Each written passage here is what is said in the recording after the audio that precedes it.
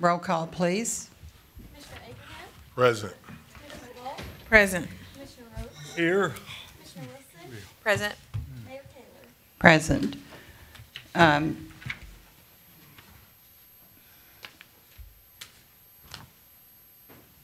John, would you do our invocation tonight? Thank you. Commissioner Abraham, would you do our Pledge of Allegiance? I will. Um, Would you pray with me? Oh, Holy Father, I pray that you'll watch over us this night. Give us wisdom where we lack it, and we do. Father, I pray that you'll help us to understand how we're to treat other people and to be kind and uh, considerate of others. I pray that you'll watch over us and our families, and bless us in all we do. In Jesus' holy name we pray. Amen. I pledge allegiance to the flag of the United States of America and to its republic for which it stands, one nation, under God, indivisible, with liberty and justice for all. Thank you, John. Thank you, Commissioner. Any additions or deletions, City Manager? There are none, Madam Mayor. Okay. So Commissioner Abraham, you have the minutes. I do. I move that the, I- I move that the reading of the minutes for June 21st, 2016 City Commission meeting be waived, and that the minutes of said meetings prepared by the city clerk be approved as written. Second. Commissioner Abraham, Aye. Commissioner Gault, Aye. Commissioner Rhodes, Aye. Commissioner Wilson, Aye. Mayor Kaler. Aye. Under motions, Commissioner Gault. I move that the following documents and bids be received and filed. Certificate of liability insurance for Danny Cope and Sons. Software service agreement with Tyler Technologies for license of software. Paducah McCracken County Riverport Authority fiscal 2017 annual operating budget for fiscal year 16-17. Bids for Paducah Riverfront Development Authority. Demolition of commercial building at 501 North Third, 514 North Loop Road. Complete Demolition Services, Greer Excavating Services LLC, Lanny Jones Excavating, Mike Good Excavating, Danny Cope and Sons Excavating LLC. Second. City Clerk. Mr. Abraham, Aye. Commissioner Gault, Aye. Commissioner Rhodes, Aye. Commissioner Wilson, Aye. Mayor Kaler. Aye. Commissioner, um, we're under our municipal orders. Commissioner Rhodes. Okay. Upon recommendation of the city manager, the Board of Commissioners of the City of Paducah, order that the personal changes on the attached list be approved. Second. Hi, Steve. Good evening, Mayor, Commissioners. Any questions?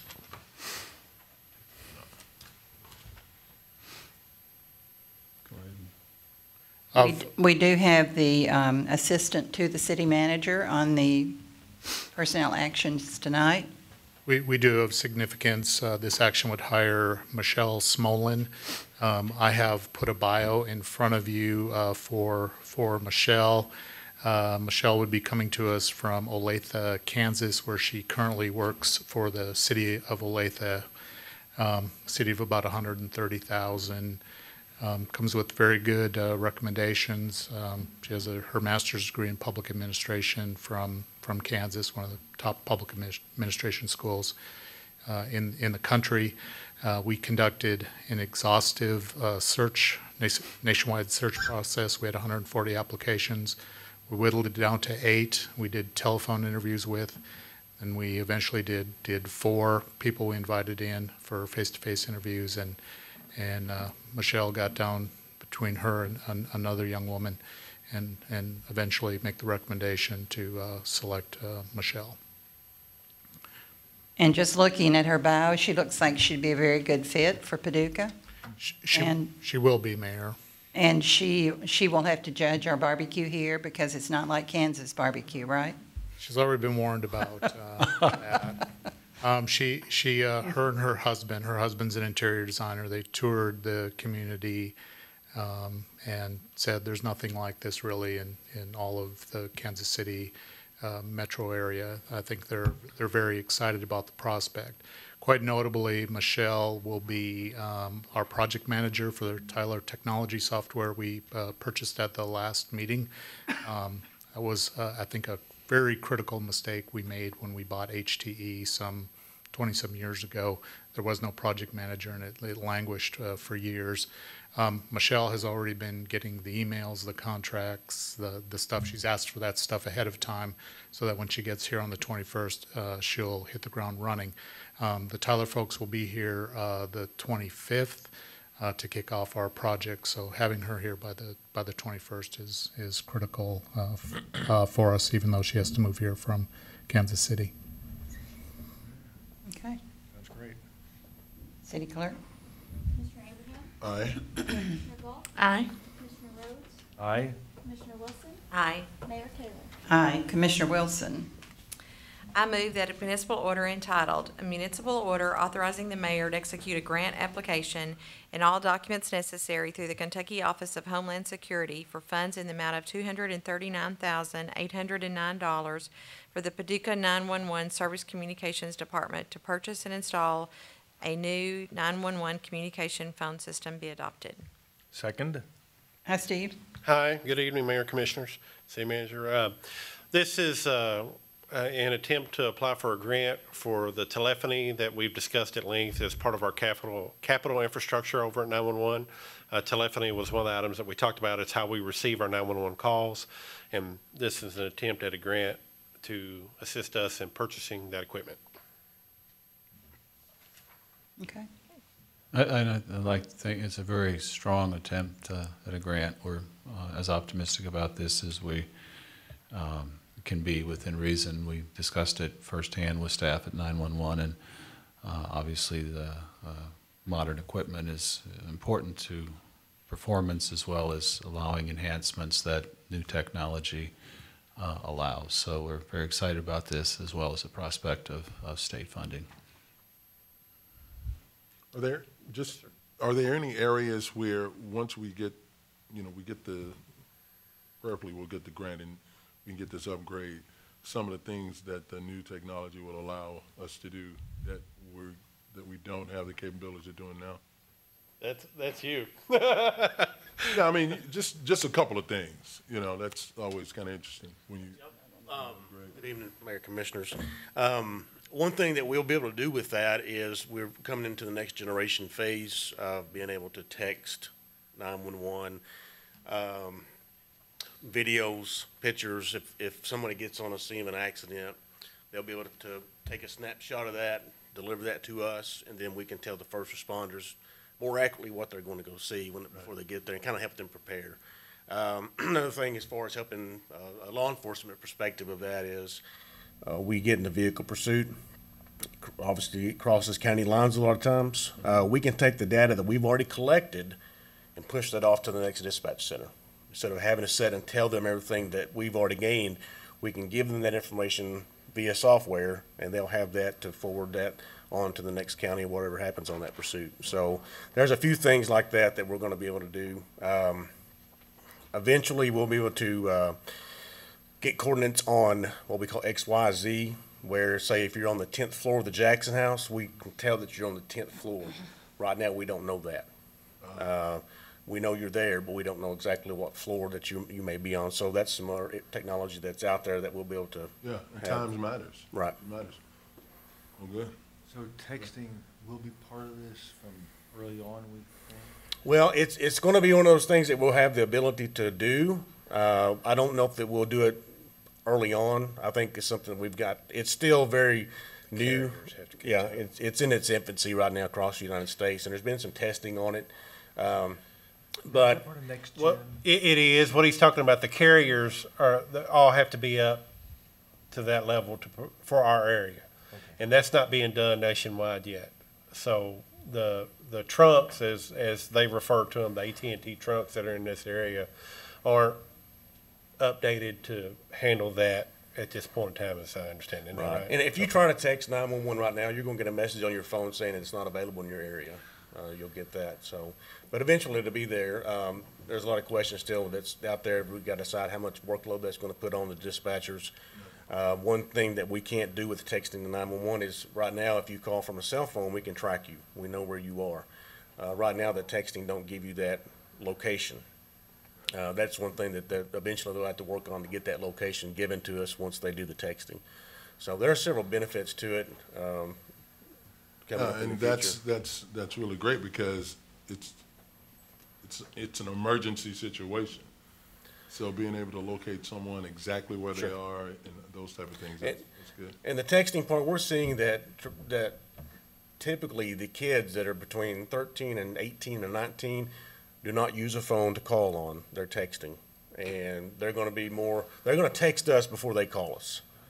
Um, that's just the way of the world, that's where we're going. And The, uh, the state of Kentucky 911 office um, put together a next generation report, Brent, what, seven, eight years ago, anticipating some of these technological advancements and some of these additional capabilities. And I think that the um, grant funding that's available um, for these upgrades reflects uh, what I think the state's value for that is, uh, awareness of what the technological capabilities are as well as what those things can do, as you mentioned. And I think increasingly, as the public becomes aware of that, their expectation for us Right. to incorporate that into our service delivery is going to grow as well. So this isn't just a matter of getting rid of a bunch of old phones because they might stop working and ringing. This is also upgrading the technology to allow us to really expand our services and just what was mentioned in Right. terms of the information upgrades, the photos that can come across and everything else is, it's really,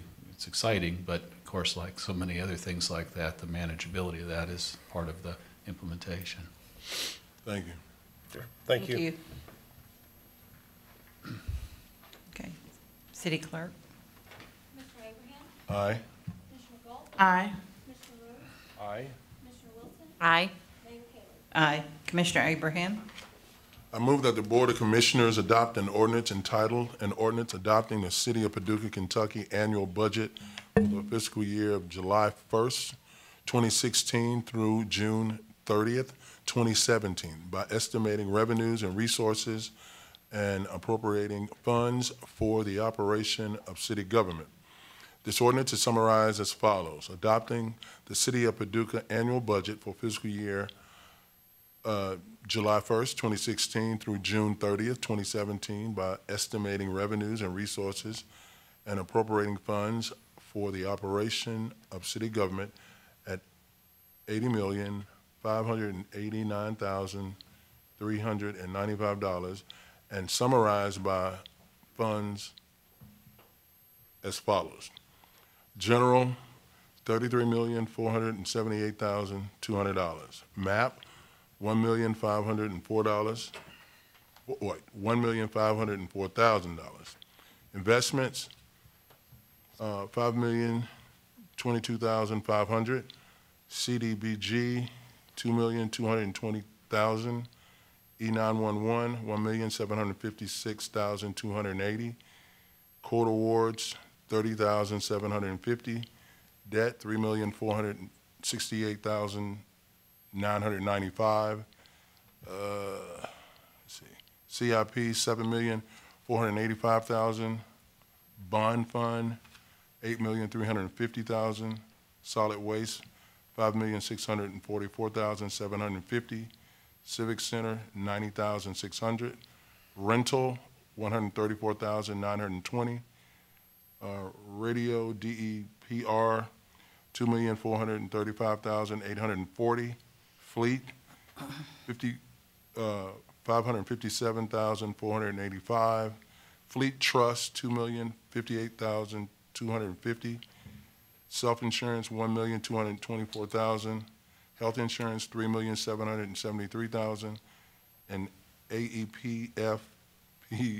AEPF, PF, PF, TRSTS, one million, three hundred and fifty-four thousand, eight hundred and twenty-five, or a total of eighty million, five hundred and eighty-nine thousand, three hundred and ninety-five dollars.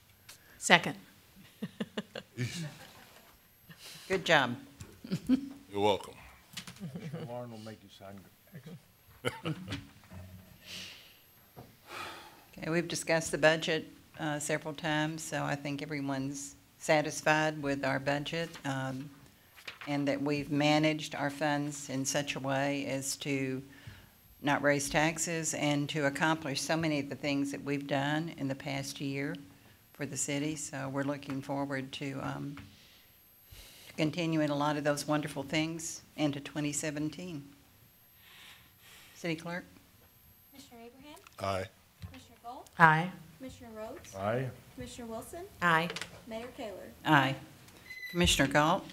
I move that the Board of Commissioners adopt an ordinance entitled, an ordinance authorizing and directing the mayor to execute an agreement for operation of public access channels two and eleven and other related services. This ordinance is summarized as follows, that the mayor is hereby authorized and directed to execute a contract between the City of Paducah, West Kentucky Community and Technical College, and Paducah Junior College in the amount not to exceed eighty-five thousand dollars for operation of public access channels two and eleven and related services for the city. Second. City Clerk? Commissioner Abraham? Aye. Commissioner Gault? Aye. Commissioner Rhodes? Aye. Commissioner Wilson? Aye. Mayor Kaler? Aye. Commissioner Rhodes? I move that the Board of Commissioners adopt an ordinance entitled, an ordinance authorizing the finance director to pay for the lease of two temporary pumps which were utilized from the end of December 2015 through May 2016 at Pump Station Number 9 located at 1148 South Third Street due to pump number two becoming inoperable. This ordinance is summarized as follows. The City of Paducah hereby authorizes the finance director to pay Xylem Dewatering Solutions Incorporated in the amount of thirty-three thousand, sixty-four dollars and ten cents for the lease of two temporary emergency pumps that were utilized at Pump Station Number Nine located at eleven forty-eight South Third Street. Second. City Clerk? Commissioner Abraham? Aye. Commissioner Gault? Aye. Commissioner Rhodes? Aye. Commissioner Wilson? Aye. Mayor Kaler? Aye. Commissioner Wilson? I move that the Board of Commissioners adopt an ordinance entitled, an ordinance authorizing the mayor to execute change order number one with Mid-States, Construction Company, Inc. for the construction of a pocket park, also known as the Market Square Art Park, located at 117 and a half South Second Street. This ordinance is summarized as follows.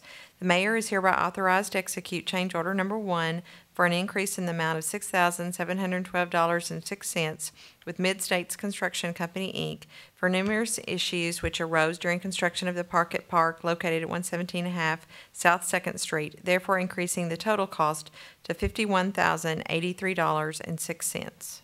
Second? City Clerk? Commissioner Abraham? Aye. Commissioner Gault? Aye. Commissioner Rhodes? Aye. Commissioner Wilson? Aye. Mayor Kaler? Aye. We'll go on to our ordinances introduction, so we do not uh, vote on these tonight. Commissioner Abraham? I move that the Board of Commissioners introduce an ordinance, an ordinance authorizing the mayor to execute a service agreement with Motorola for fiscal year 2016 through 2017. This ordinance is summarized as follows. The mayor is hereby authorized to execute a service agreement with Motorola for yearly maintenance of the 800 uh, megahertz radio controllers, uh, 911 dispatch consoles, telephones, and other related radio equipment in the amount of $32,166.48. This contract shall expire June 30th, 2017. Second. Brett?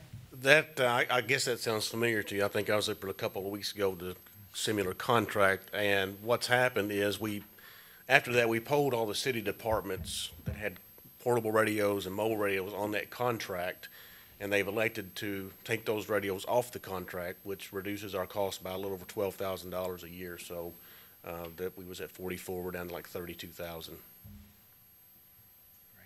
It's always good, reduction.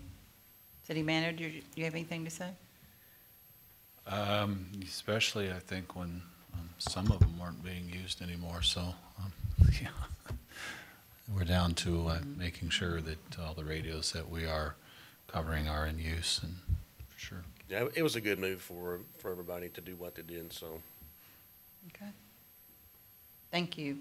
Every year. Commissioner Gault? I move that the Board of Commissioners introduce an ordinance entitled, an ordinance authorizing the finance director to pay Kentucky League of Cities for workers' compensation, liability insurance, and property insurance coverage for the city of Paducah. This ordinance is summarized as follows. The city of Paducah hereby authorizes the finance director to pay Kentucky League of Cities in the total amount of one million ninety-two thousand sixteen dollars and twenty-six cents for workers' compensation, liability insurance, and property insurance coverage for the city of Paducah for fiscal year ending June thirtieth, twenty seventeen. Second. Hi, Steve. It's, it's a big number, but there's relatively good news uh, this year. Uh, It represents only uh, less than 1% increase uh, from, from last year. Uh, The Kentucky League of Cities um, supplies all of our lines of insurance, all the, the different liabilities, auto insurance, property, uh, virtually everything we have insured is covered uh, uh, through them. So we're, we're pretty happy with the, the return in our, in our premium. Um, um, we will pay um, an increase, it is uh, $43,000, but of that $43,000, 33 of it belongs to 911. We didn't pay their bill last year, the, the board paid theirs separately, so we're, we're, we're beginning to do all the, the combinations um, of, of things uh, together. So, but if you, if you took 911 out, it, it was, it was, the total increase on a million, on more than a million dollars was less than 10,000 bucks.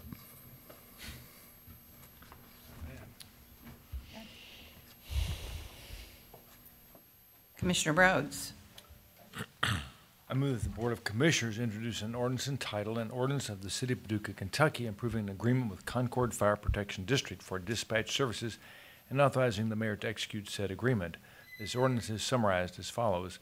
The City of Paducah hereby approves a communication service agreement with Concord Fire Protection District for 911 dispatch services, which will begin on July 1st, 2016, and authorizes the mayor to execute the agreement. The initial term of the agreement shall be a period of four years. Such term shall automatically renew at the end of the initial term and any subsequent terms thereafter for an additional four years unless either the city or Concord decide to terminate or renegotiate the agreement. Second. Good evening again, Mayor and Commissioners. Uh, This is the first of co- two contracts that we're presenting to, to you tonight uh, for 911 services to be provided to the outlying fire districts. Uh, Concord and West McCracken. Concord's one you have in front of you now uh, that have been approved by their boards uh, to sign a contract for service from us. Anything- Anyone have any questions or comments? And we're still efforting agreements with the other three rural fire departments. Um, I think that's worthy of mention as well. So, so what happens to the others' calls during this time? I mean, they handle them themselves? Um, no, um, what, uh, we think will occur, uh, for those that have not signed on prior to July one, they were, uh, essentially piggybacking on the county under the previous interlocal. And since we're extending the interlocal for thirty days, or up to thirty days, July one with the county, then that service to the rural fire departments would continue under the county auspices. Um, but we believe that inasmuch as much as the rural fire departments are um, independent entities, that it's in the best interest of them and us to have bilateral agreements between the city and the respective rural fire departments. We do know that two of the boards are meeting tonight, Reedland and Lone Oak. Um, And Hendron's not meeting until July the 11th. Is their next board meeting. Carol? And to that, and, and as well, I, I I would like to commend the chief, Chief Kyle, Chief Barnhill, and the city manager as well. Um, I'm not sure this commission knows how hard these people have worked to get a contract together and a proposal together to the county and to all, I mean, literally, I've had a ringside seat to watch this, and it's been almost two years, I would say.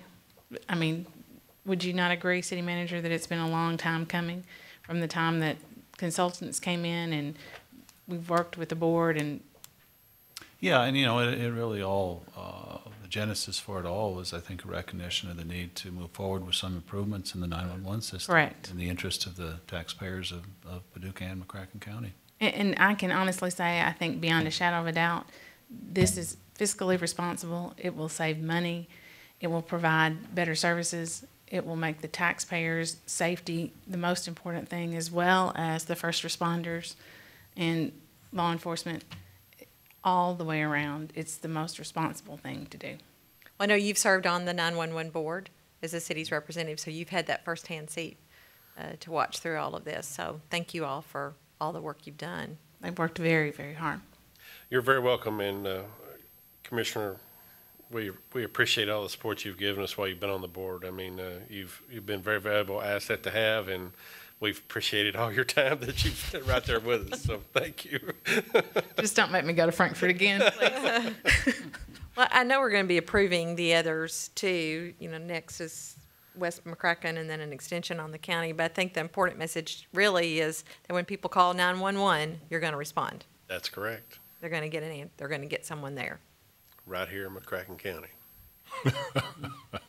Um, it, it, that is the important message, and I, I just can't stress that enough, how important it is. New, new equipment coming, I mean, just all the way around. Thank you. Thank you. Commissioner Wilson. I move that the Board of Commissioners introduce an ordinance entitled, An Ordinance of the City of Paducah, Kentucky approving an agreement with West McCracken Fire Protection District for dispatch services and authorizing the mayor to execute said agreement. This ordinance is summarized as follows. The City of Paducah hereby approves a communication service agreement with West McCracken Fire Protection District for 911 dispatch services, which will begin on July 1, 2016, and authorizes the mayor to execute the agreement. The initial term of the agreement shall be for a period of four-year term, four years. Such term shall automatically renew at the end of the initial term and any subsequent terms thereafter for an additional four years unless either the city or Concord decide to terminate or renegotiate the agreement. Second. Steve? Same thing. Same comments. thing. Next step. Thank you. That's right. Thank Again. you. Okay, uh, Commissioner Abraham. I move that the Board of Commissioners introduce an ordinance entitled, an ordinance of the City of Paducah, Kentucky, approving an agreement with McCracken County Fiscal Court to extend the current interlocal cooperation agreement for 911 communication services and authorizes the mayor to execute said agreement. This ordinance is summarized as follows. The City of Paducah hereby approves a temporary 911 communications service agreement with McCracken County Fiscal Court to extend the current 911 interlocal agreement for 911 dispatch services up to and including July 31st, 2016. Further, the mayor of the city is hereby authorized to execute the agreement. Second. So we're cer, we're glad to have, um, have the county on board with us too, and, uh, we hope that we will provide such good service that they will want to stay with us in the future. We have, we have a way of proving ourselves here, and, um, so we hope we can move forward with that in the future. Absolutely. City managers report. Uh, I'm going to ask Steve uh, Irvin to come forward. Um, He's going to be uh, presenting an item at the next meeting um, associated with uh, the latest effort to progress the Broadway and Jefferson uh, bike path issues, so he wants to provide you with some preliminary information tonight. Good evening, Mayor and Commission. Uh, As you may remember, um, November or so of last year, we applied for a Transportation Alternative Program grant, and that was going to uh, uh, be used to fund engineering services as well as actually bidding the project and con- and constructing the project. It was anticipated the entire project to be somewhere around $500,000. Uh, Early this year, we received word that we had not received um, that grant. At that time, it was, uh, we believed that uh, it would have been very helpful that if we already had the engineering study in hand when we made the application to the Transportation Cabinet. Uh, With that being said, over the last six weeks or so, I've been working with HDR, HDR Engineering uh, out of, out of Paducah uh, to uh, come up with an engineering services agreement, and I have one in hand now that I'd like to bring to the um, City Commission at the next meeting. And it really outlines uh, all the different services that they'll be providing, from the traffic study to the signing study, pavement marking plan, and really a set of construction documents that we'll be able to go to bid out. Uh, It's our anticipation that this fall, we'll have the traffic study in hand, and then we'd like to go back to the Transportation County, apply for that TAP grant again, and hopefully this time we'll be successful since we had that study in hand. Thank you, Steve. That's good work. Thank you. Thank you. I know think it's uh, always a good idea to pursue a grant if there's an opportunity there. And Right. so we kind of made a pragmatic decision, try to, try to get a grant for the study and, and then, the- and the engineering, and then proceed with the project implementation, uh, grant application afterwards. But I, I think this is the only grant I'm aware of that we haven't got that we've applied for. And, I mean, we've, we have a very, very high success rate. Unfortunately, this one uh, didn't go, so we, we have money in a project fund um, that was originally appropriated by the investment fund for downtown ramp plan improvements. So it's from that fund that we would draw this sixty thousand dollars, Steve, I guess? Yeah, 63 around. And make the decision, or the commission would have the opportunity to make the decision to pay for this out of monies in hand, so that, as Steve says, we have the study done and we can make a stronger application for the, the really big money for the implementation part. What also we'll have from this is really a completion of our, of our bike plan, or our loop, let's call it, and really it'll extend from Noble Park uh, all the way down to uh, where Phase Five of the Greenway Trail will end, which is Jefferson Street. Um, That's important because part of the scoring through the Transportation Cabinet is also done by their bicycle coordinator with the Transportation Cabinet. We get extra points, I believe, if we come to them with a bike plan in place when we make the application. And how, how's the signage coming along? No, we talked about that a few weeks ago, For which project? the ramp. It's part of the ramp, some signage. Was We- it from the grant? Yes, we are working on that. Working on the grant? Mhm. Or has it been submitted? I mean, It, it has been submitted, that's correct. Okay. Thanks, Steve. Thank you. Steve earns his money, doesn't he? That's all I have, Mayor. Okay, well, I think we can all be proud as a community with the um, playground at the Absolutely. It's fantastic. And I know Commissioner Rhodes logged um, many, many hours there. You worked, I think, every day. I was a slacker. I was only there a day and a half. Anyway, I was only there a day, but it was good. It was hot. A lot of work. It's something our community should be really, Absolutely. really proud of. And then future development there around that area, I think will just be uh, icing on the cake. It'd be great to see it. and, you know, the, the best part about it was just so many people that uh, wanted to be a part of that and wanted to make that happen. And, um, you know, people that will be able to say, you know, kids can say years from now, you know, my dad or my grandmother helped build that, or my grandfather helped build that, or my uncle helped build that. And uh, to me, that's what makes our community so great. It's, it, it's really unique because a lot of the people that worked on that project, uh, maybe had never spent that much time in that community at all. Uh, now they have some ownership there. So, uh, that, I really think that that playground, um, in addition with the other aspects of the wellness park, will be a catalyst for exactly what you said, Commissioner. Uh, folks with entrepreneurial spirit, this is where people are. So maybe some of those vacant buildings there will turn into eateries or whatever.